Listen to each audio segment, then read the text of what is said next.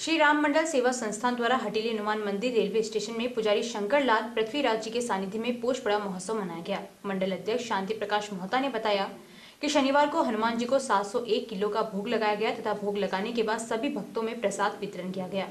प्रसाद लेने के लिए भक्तों में भारी भीड़ लगी हुई थी। मंडल द्वारा इसी प्रांगण में संगीत में सुंदरकांड पाठ किया गया। मोहता ने बताया, मंदिर के इसी प्रांगण में हर अमावस्या को गरीब व अनाथ लोगों को भोजन भी करवाया जाता है, जिसमें हर अमावस्या को लगभग 500 भक्त भोजन ग्रहण करते हैं। पोष पड़ा के इस कार्यक्रम को सफल बनाने में मंडल के अशोक अग्रवाल, देवी सिंह राज पुरोहित, राजेश कुदाल, राम प्रसाद सैन, सत्यनारायण काबरा, लालचंद पमनानी, दलीप सोनी, सुखदेव पारिक रामोता शर्मा, कैलाश अग्रवाल, मनोज नाका आदि उपस्थित थे।